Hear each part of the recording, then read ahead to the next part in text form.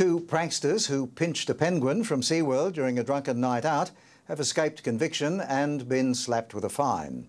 The public humiliation was complete when the magistrate described their actions as absolute stupidity. Oh, Mr. Penguin. Spare a thought for Dirk. Can't believe how penguin, my apartment, man. You stole a penguin.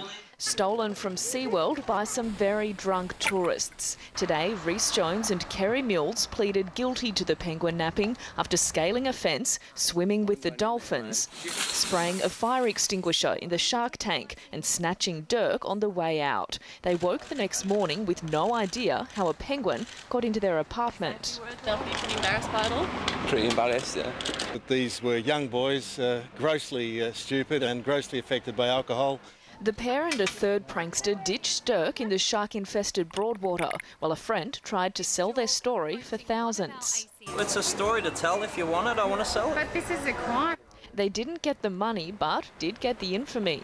Well, they're exposed to the ridicule, I suppose, of the nation's press and international press. Both were fined $1,000. The court was told the men were lucky. In their drunken state, they didn't try and swim with the sharks or enter the polar bear enclosure. Otherwise, the outcome could have been very different. We are all three of us sorry for SeaWorld and the time lost, you know, searching for Dirk.